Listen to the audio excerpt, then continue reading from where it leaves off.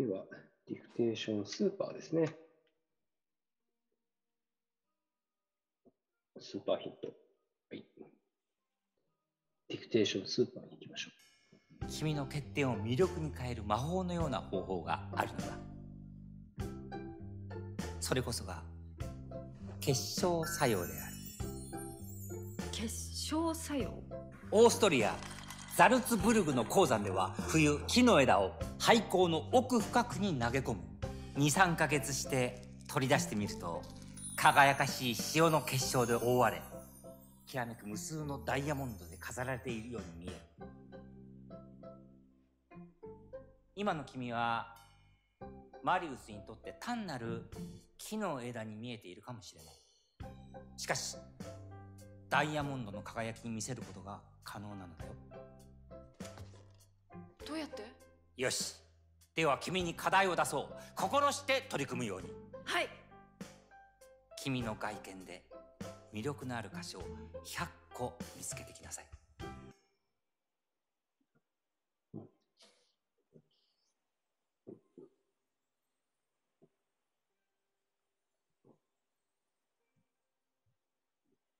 では2回目いきましょう君の欠点を魅力に変える魔法のような方法があるのだ。それこそが結晶作用である。結晶作用？オーストリアザルツブルグの鉱山では冬木の枝を廃坑の奥深くに投げ込む。23ヶ月して取り出してみると輝かしい塩の結晶で覆われきらめく無数のダイヤモンドで飾られているように見える今の君はマリウスにとって単なる木の枝に見えているかもしれない。しかしダイヤモンドの輝きに見せることが可能なのだよ。どうやって？よし。では君に課題を出そう。心して取り組むように。はい。君の外見で魅力のある箇所を100個見つけてきなさい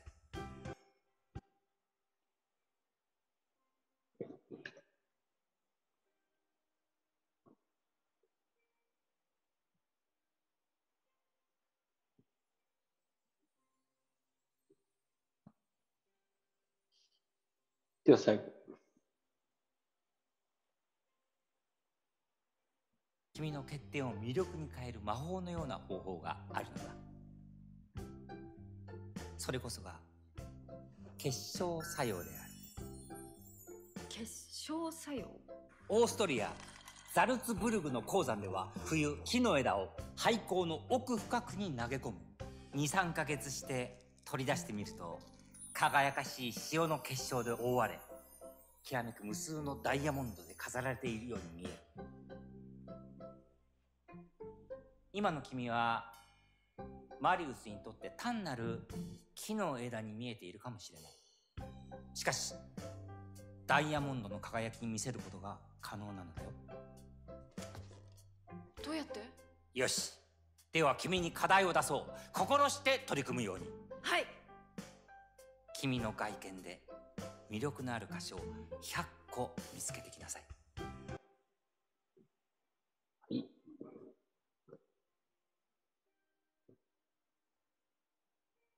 では正解見ていきましょう。正解はこちらです。君の欠点を魅力に変える魔法のような方法があるんだ。それこそが結晶作用である。結晶作用？オーストリア・ザルツブルグの鉱山では冬、木の枝を廃坑の奥深くに投げ込む。2、3ヶ月して掘り取り出してみると、輝かしい塩の結晶で覆われ、きらめく無数のダイヤモンドで飾られているように見える。今の君はマリウスにとって単なる木の枝に見えているかもしれない。しかしダイヤモンドの輝きに見せることが可能なのだよ。どうやって？よし。では、君に課題を出そう。心して取り組むように。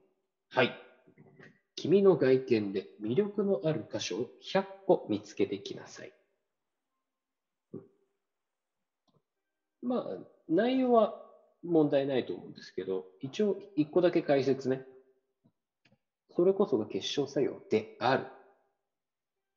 これ、ですでもだでもない、であるなんだよね。であるを使うと、結構硬い感じ。で、まあこれ喋ってる人はさ、これも200年以上前のフランスの文学者っていう設定だからね。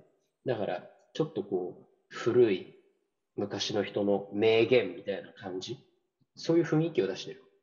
だからこのであるっていうのを使ってるけど、僕ら普段であるを使うのは論文とかそういうところぐらいでしか使いません。